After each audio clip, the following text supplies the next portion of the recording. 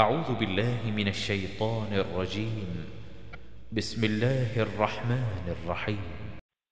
حدثنا مسدد بن مسرهد حدثنا عبد الله بن داود سمعت عاصم بن رجاء بن حيوة يحدث عن داود بن جميل عن كثير بن قيس قال كنت جالسا مع أبي الدرداء في مسجد دمشق فجاءه رجل فقال يا أبا الدرداء إني جئتك من مدينة الرسول صلى الله عليه وسلم لحديث بلغني أنك تحدثه عن رسول الله صلى الله عليه وسلم ما جئت لحاجة. قال فإني سمعت رسول الله صلى الله عليه وسلم يقول من سلك طريقا يطلب فيه علما سلك الله به طريقا من طرق الجنة وإن الملائكة لتضع أجنحتها رضا لطالب العلم وإن العالم ليستغفر له من في السماوات ومن في الأرض والحيتان في جوف الماء. وإن فضل العالم على العابد كفضل القمر ليلة البدر على سائر الكواكب. وإن العلماء ورثة الأنبياء. وإن الأنبياء لم يورثوا دينارا ولا درهما. ورثوا العلم فمن أخذه أخذ بحظ وافر حدثنا محمد بن الوزير الدمشقي حدثنا الوليد قال لقيت شبيب بن شيبة فحدثني به عن عثمان بن أبي سودة عن أبي الدرداء يعني عن النبي صلى الله عليه وسلم بمعناه. حدثنا أحمد بن يونس حدثنا زائدة عن الأعمش عن أبي صالح عن أبي هريرة قال قال رسول الله صلى الله عليه وسلم ما من رجل يسلك طريقا يطلب فيه علما إلا سهل الله له به طريق الجنة ومن أبطأ به عمله لم يسرع به نسبه. حدثنا أحمد بن محمد بن ثابت المروزي. حدثنا عبد الرزاق. أخبرنا معمر عن الزهري. أخبرني ابن أبي نملة الأنصاري. عن أبيه أنه بينما هو جالس عند رسول الله صلى الله عليه وسلم وعنده رجل من اليهود مر بجنازة فقال يا محمد هل تتكلم هذه الجنازة؟ فقال النبي صلى الله عليه وسلم الله أعلم. فقال اليهودي إنها تتكلم. فقال رسول الله صلى صلى الله عليه وسلم ما حدثكم أهل الكتاب فلا تصدقوهم ولا تكذبوهم وقولوا آمنا بالله ورسله فإن كان باطلا لم تصدقوه وإن كان حقا لم تكذبوه. حدثنا أحمد بن يونس حدثنا ابن أبي الزناد عن أبيه عن خارجة يعني ابن زيد بن ثابت. قال قال زيد بن ثابت أمرني رسول الله صلى الله عليه وسلم. فتعلمت له كتاب يهود. وقال إني والله ما آمن يهود على كتابي. فتعلمته فلم يمر بي إلا نصف شهر. حتى حدثته. فكنت أكتب له إذا كتب وأقرأ له إذا كتب إليه.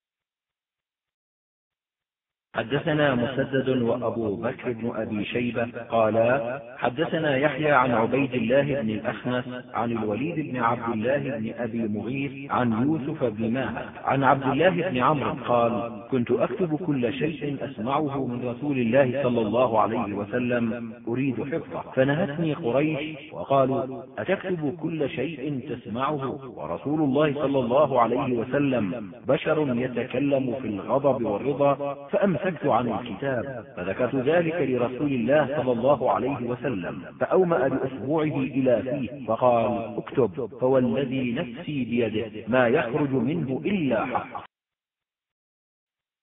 حدثنا نصر بن علي أخبرنا أبو أحمد حدثنا كثير بن زيد عن المطلب بن عبد الله بن حنطب قال دخل زيد بن ثابت على معاوية فسأله عن حديث فأمر إنسانا يكتبه فقال له زيد إن رسول الله صلى الله عليه وسلم أمرنا أن لا نكتب شيئا من حديثه فمحاه. حدثنا أحمد بن يونس حدثنا أبو شهاب عن الحذاء عن أبي المتوكل الناجي عن أبي سعيد الخدري قال ما كنا نكتب غير التشهد والقرآن. حدثنا مؤمل قال حدثنا الوليد وحدثنا العباس بن الوليد بن مزيد قال أخبرني أبي عن الأوزاعي عن يحيى بن أبي كثير قال حدثنا أبو سلمة يعني ابن عبد الرحمن قال حدثني أبو هريرة قال لما فتحت مكة قام النبي صلى الله عليه وسلم فذكر الخطبة خطبة النبي صلى الله عليه وسلم قال فقام رجل من أهل اليمن يقال له أبو شاه فقال يا رسول الله اكتبوا لي. فقال اكتبوا لأبي شاه. حدثنا علي بن سهل الرملي قال حدثنا الوليد قال قلت لأبي عمرو ما يكتبوه؟ قال الخطبة التي سمعها يومئذ منه. حدثنا عمرو بن عون أخبرنا خالد وحدثنا مسدد حدثنا خالد المعنى عن بيان بن بشر قال مسدد أبو بشر عن وبرة بن عبد الرحمن عن عامر بن عبد الله بن الزبير عن أبيه قال قلت للزبير ما يمنعك أن تحدث عن رسول الله صلى الله عليه وسلم كما يحدث عنه أصحابه؟ فقال أما والله لقد كان لي منه وجه ومنزلة ولكني سمعته يقول من كذب علي متعمدا فليتبوأ مقعده من النار. حدثنا عبد الله بن محمد بن يحيى حدثنا يعقوب بن إسحاق المقرئ الحضرمي حدثنا سهيل بن مهران أخي حزم القطعي حدثنا أبو عمران. عن جندب قال قال رسول الله صلى الله عليه وسلم من قال في كتاب الله عز وجل برأيه فأصاب فقد أخطأ. حدثنا عمرو بن مرزوق أخبرنا شعبة عن أبي عقيل هاشم بن بلال عن سابق بن ناجية عن أبي سلام عن رجل خدم النبي صلى الله عليه وسلم أن النبي صلى الله عليه وسلم كان إذا حدث حديثا أعاده ثلاث مرات. حدثنا محمد بن منصور الطوسي حدثنا سفيان بن عيينة عن الزهري عن عروة قال جلس أبو هريرة إلى جنب حجرة عائشة رضي الله عنها وهي تصلي فجعل يقول اسمعي يا ربة الحجرة مرتين فلما قضت صلاتها قالت ألا تعجب إلى هذا وحديثه؟ إن كان رسول الله صلى الله عليه وسلم ليحدث الحديث لو شاء العاد أن يحصيه أحصاه. حدثنا سليمان بن داود المهري أخبرنا ابن وهب أخبرني يونس عن ابن شهاب أن عروة بن الزبير حدث أن عائشة زوج النبي صلى الله عليه وسلم قال ألا يعجبك أبو هريرة؟ جاء فجلس إلى جانب حجرتي يحدث عن رسول الله صلى الله عليه وسلم. يسمعني ذلك. وكنت أسبح. فقام قبل أن أقضي سبحتي ولو أدركته لرددت عليه. إن رسول الله صلى الله عليه وسلم لم يكن يسرد الحديث مثل سردكم حدثنا إبراهيم بن موسى الرازي. حدثنا عيسى عن الأوزاعي. عن عبد الله بن سعد عن الصنابحي. عن معاوية أن النبي صلى الله عليه وسلم نهى عن الغلوطات. حدثنا الحسن بن علي حدثنا أبو عبد الرحمن المقرئ حدثنا سعيد يعني ابن أبي أيوب عن بكر بن عمرو عن مسلم بن يسار أبي عثمان. عن أبي هريرة قال قال رسول الله صلى الله عليه وسلم من أفتى. وحدثنا سليمان بن داود أخبرنا ابن وهب حدثني يحيى بن أيوب عن بكر بن عمرو عن عمرو بن أبي نعيمة عن أبي عثمان الطنبذي رضي عبد الملك بن مروان قال سمعت أبا هريرة يقول قال رسول الله صلى الله عليه وسلم من أفتي بغير علم كان اسمه على من أفتاه زاد سليمان المهري في حديثه ومن أشار على أخيه بأمر يعلم أن الرشد في غيره فقد قال وهذا لفظ سليمان.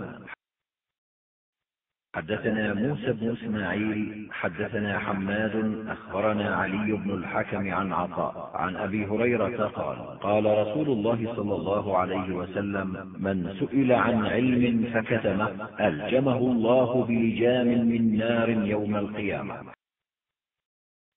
حدثنا زهير بن حرب وعثمان بن أبي شيبة قالا حدثنا جرير عن الأعمش عن عبد الله بن عبد الله عن سعيد بن جبير عن ابن عباس قال قال رسول الله صلى الله عليه وسلم تسمعون ويسمع منكم ويسمع ممن سمع منكم.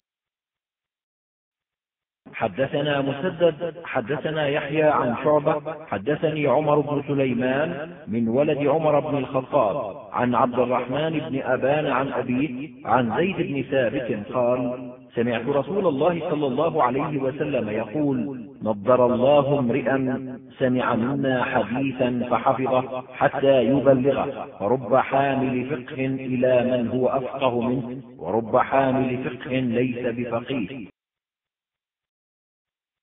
حدثنا سعيد بن منصور حدثنا عبد العزيز بن أبي حازم عن أبيه عن سهل يعني ابن سعد عن النبي صلى الله عليه وسلم قال والله لأن يهدي الله بهداك رجلا واحدا خير لك من حمر النعم. حدثنا أبو بكر بن أبي شيبة حدثنا علي بن مسهر عن محمد بن عمرو عن أبي سلمة عن أبي هريرة قال قال رسول الله صلى الله عليه وسلم حدثوا عن بني إسرائيل ولا حرج.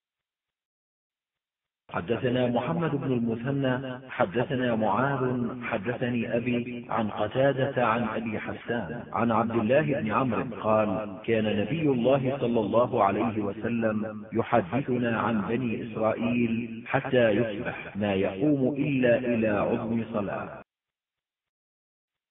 حدثنا أبو بكر بن أبي شيبة حدثنا سريج بن النعمان حدثنا فليح عن أبي طوالة عبد الله بن عبد الرحمن بن معمر الأنصاري عن سعيد بن يسار عن أبي هريرة قال قال رسول الله صلى الله عليه وسلم من تعلم علما مما يبتغى به وجه الله عز وجل لا يتعلمه إلا ليصيب به عرضا من الدنيا لم يجد عرق الجنة يوم القيامة يعني ريحا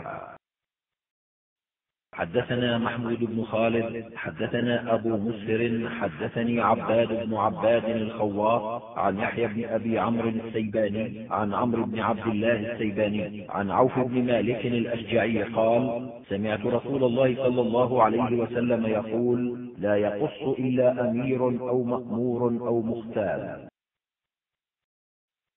حدثنا مسدد حدثنا جعفر بن سليمان عن المعلى بن زياد عن العلاء بن بشير المزني عن أبي الصديق الناجي عن أبي سعيد الخدري قال جلست في عصابة من ضعفاء المهاجرين وإن بعضهم ليستتر ببعض من العري وقارئ يقرأ علينا إذ جاء رسول الله صلى الله عليه وسلم فقام علينا فلما قام رسول الله صلى الله عليه وسلم سكت القارئ فسلم ثم قال ما كنتم تصنعون. قلنا يا رسول الله إنه كان قارئ لنا يقرأ علينا فكنا نستمع إلى كتاب الله. قال فقال رسول الله صلى الله عليه وسلم الحمد لله الذي جعل من أمتي من أمرت أن أصبر نفسي معهم.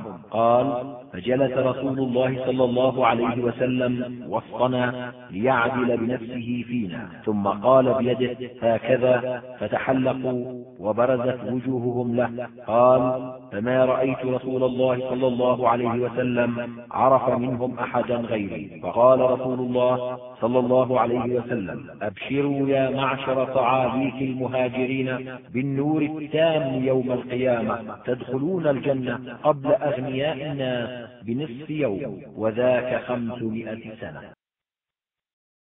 حدثنا محمد بن المثنى حدثني عبد السلام يعني ابن مطهر أبو ظفر حدثنا موسى بن خلف العمي عن قتادة عن أنس بن مالك قال قال رسول الله صلى الله عليه وسلم لأن أقعد مع قوم يذكرون الله تعالى من صلاة الغداء حتى تطلع الشمس أحب إلي من أن أعتق أربعة من ولد إسماعيل ولأن أقعد مع قوم يذكرون الله من صلاة العصر إلى أن تغرب الشمس.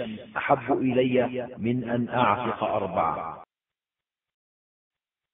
حدثنا عثمان بن أبي شيبة حدثنا حفص بن غياث عن الأعمش عن إبراهيم عن عبيدة عن عبد الله قال قال لي رسول الله صلى الله عليه وسلم اقرأ علي سورة النساء. قال قلت أقرأ عليك وعليك أنزل. قال إني أحب أن أسمعه من غيري. قال فقرأت عليه حتى إذا انتهيت إلى قوله فكيف إذا جئنا من كل أمة بشهيد؟ الآية. فرفعت رأسي فإذا عيناه تهملان.